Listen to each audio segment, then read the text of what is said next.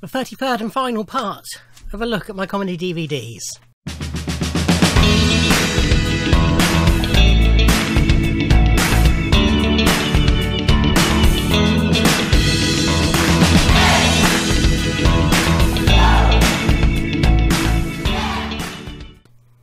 Ahoy, hoy, everybody, and yes, welcome to the 33rd and final part of my look at my comedy DVDs.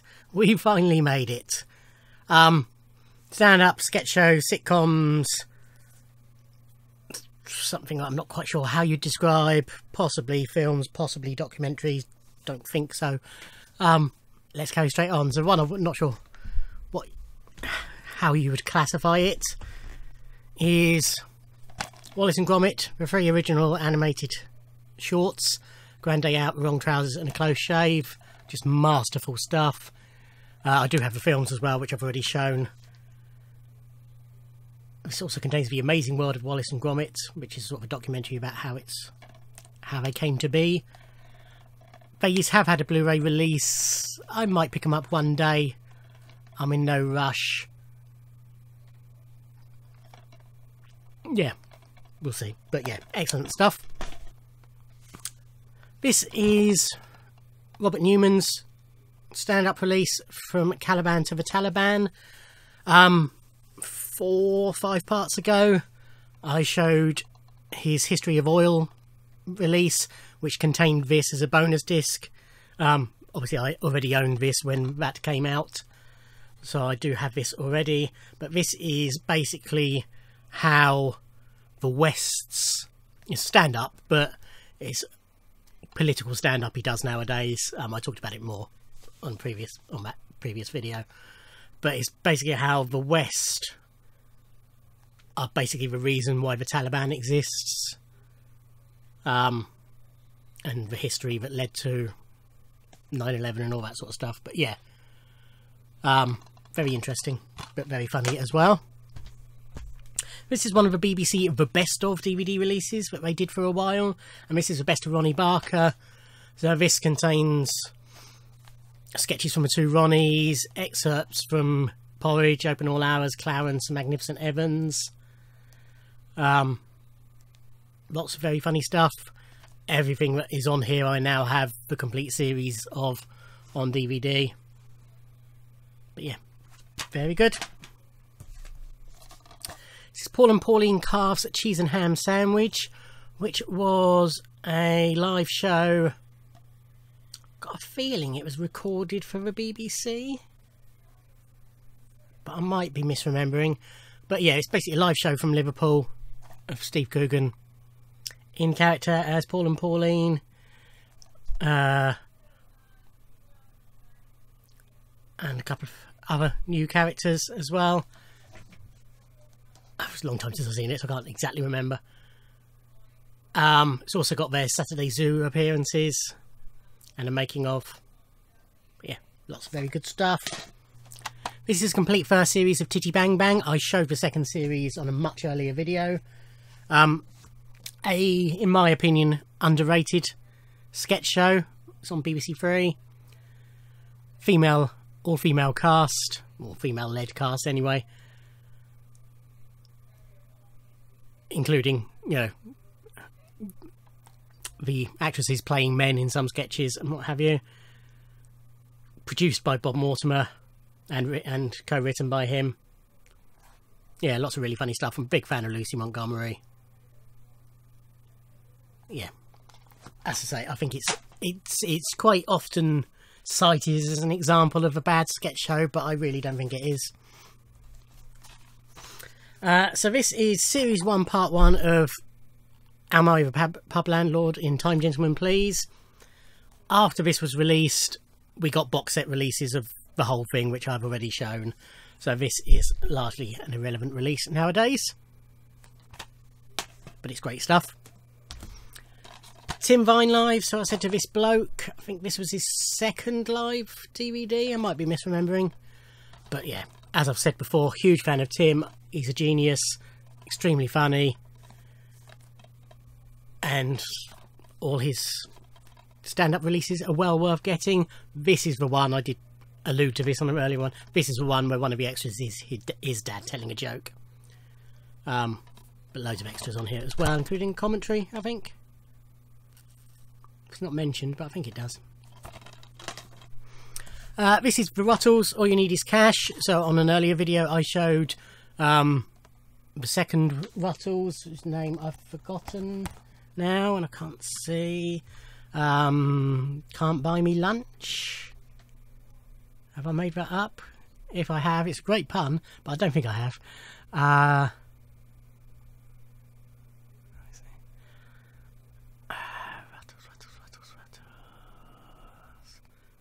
yeah, can't buy me lunch.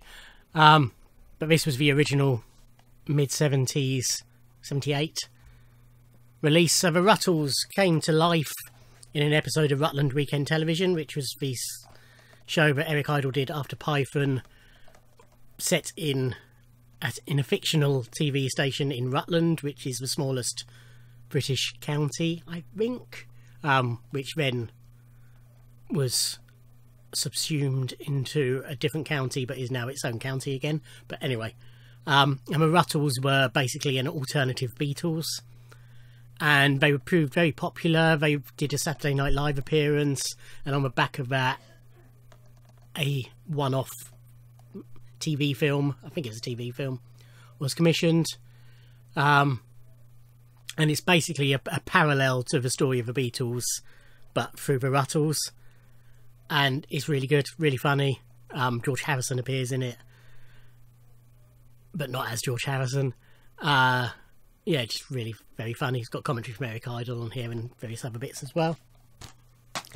Uh, so I've shown in a couple of previous parts chunks of Ross Noble DVDs. Here's the last few. Um, so this is Nobleism, and this contains uh, this is the fifth DVD he released. This contains his show at the Empire Theatre Liverpool, which was the first ever stand-up show to be broadcast throughout the country live in cinemas. Uh, this is your chance to own a record of a unique live experience along with a bonus disc full of hours of extras. Uh, got audio commentary that he did on most of his early DVDs. The first episode of his Australian trip, which was then subsequently the whole thing had its own DVD release, which I showed in the last part. Uh, bonus show footage, various other things. This is one of the ones that comes in this sort of case with a normal ray, or slightly thicker than normal ray, to be fair. Two disc set. Uh, this has got the nice fold out booky postery thing.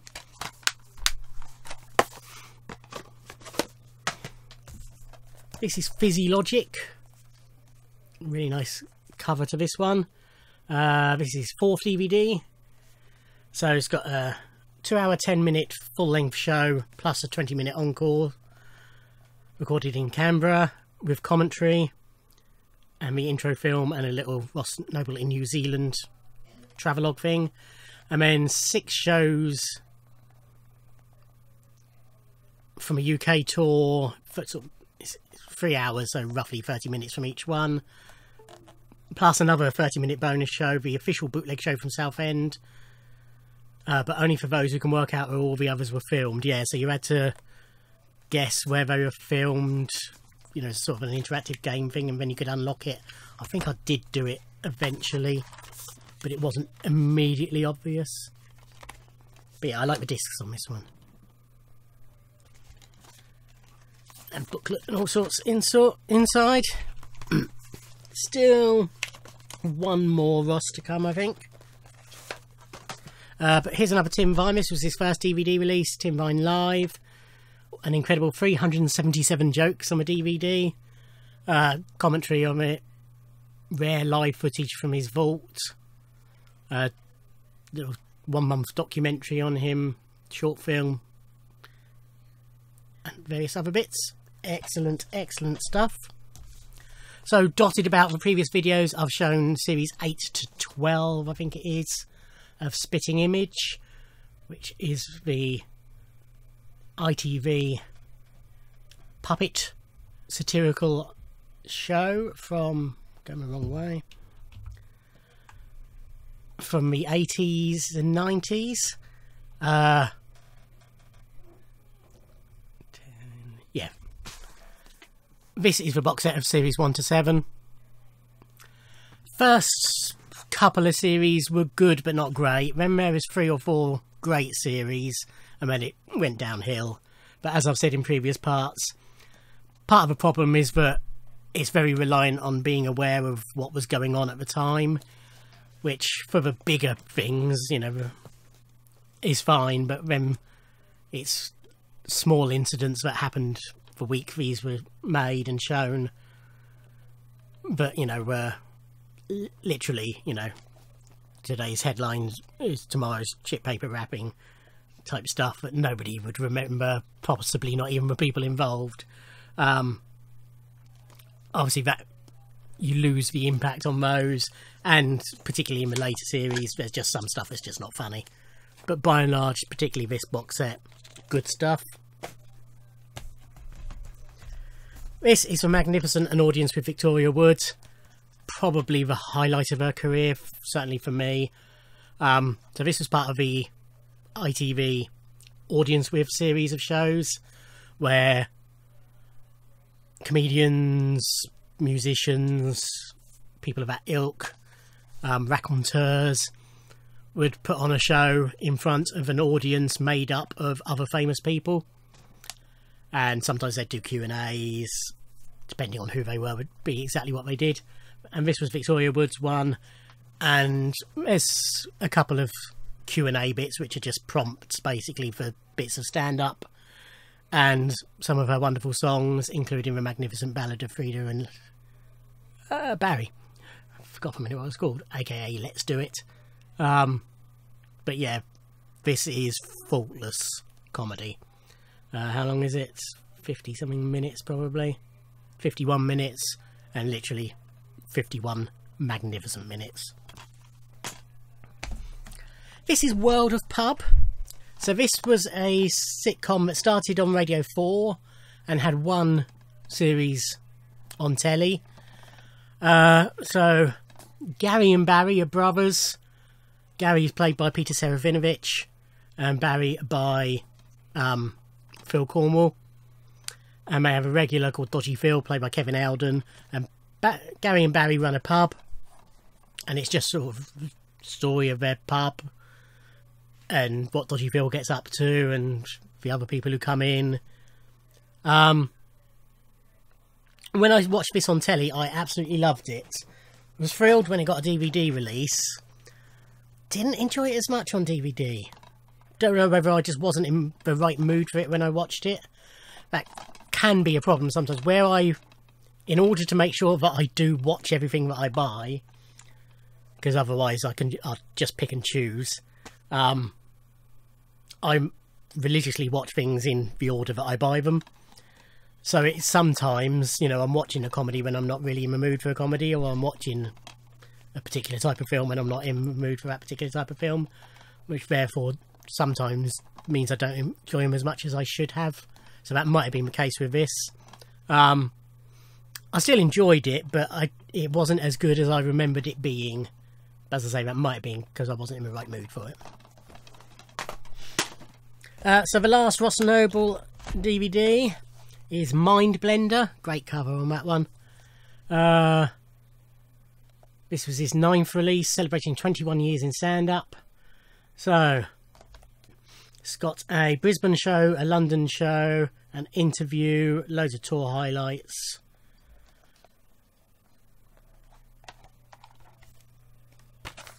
Another nice booklet, just more excellent stuff. Nearly there, two more releases. So the penultimate one is Wood and Walters. So this was the sketch show she did, she did, they did, before an um, Victoria Wood As Seen On TV. This was for ITV, and it is very similar in a way. Um, sketches, songs, stand-uppy bits. You know, Julie Walters, although she wasn't credited in the title of As Seen On TV, was a huge part of that show. She's more of a part, you know, basically every sketch more or less features both of them, or Victoria's written it and Julie's performing it. So she's she's in more, but it's yeah, it's very much in the vein of As Seen On TV and very strong stuff as well. And then the last one is Stewart Francis live. So I became a big fan of Stewart watching him on Mock the Week. Um, you know, I really like one-liner comedians, and you know, you got Stewart, you got Tim Vine, you got Milton Jones, you got Gary Delaney, and they all do them. There's others, but those are the four sort of biggies, if you like. And they all do them, and they've all got their own slightly different way they do them and style of material they do. Um, Gary Delaney's quite rude. Tim Vine is completely non-rude. Um, Milton Jones is quite surreal. Stewart Francis is Stewart Francis is a bit more attacking, if you like, in his humour, um, but also self-deferential as well. Um, but yeah, really funny stuff. Enjoy it a lot. Outtakes and an unseen Q and A on here. So that is it. So I have some comedy DVDs and Blu-rays in my to watch pile. From now on, they will just be in my monthly, well, not necessarily monthly, but my regular DVD and Blu-ray updates. Um, but that is my comedy DVD collection that I have watched to date. There were some comedy Blu-rays that I showed when I showed my Blu-rays, so everything has been shown. So if you haven't seen it, I haven't got it unless it's in my to watch pile. Um, I promised towards the start of these a competition when I got to the end of them. Keep watching, a competition is coming. Uh, I'll be giving away a a watch basically of comedy DVDs.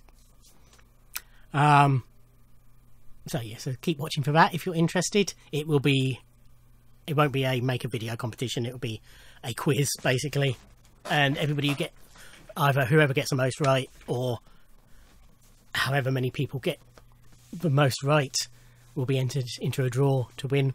Anyway, more about that when you see the video. As for as for my collection, basically I've just got two little bits left. Well, one little bit and one bigger bit left to do. Uh, the next video will be my Joss Whedon TV show DVDs that I own. So Buffy, Angel, Firefly. That's probably it.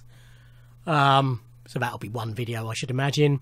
Then it's my Doctor Who DVDs, or Doctor Who and spin offs DVDs, which I have basically everything up to when they move to Blu-ray. Um, so that will be quite long, but I won't be talking much about them. That'll probably be three, four parts, would be my guess. And then we'll be done completely, apart from the updates. Anyway, thank you for watching. Stay tuned. Uh, like, comment, subscribe, and I'll see you in another video. Thanks. Bye.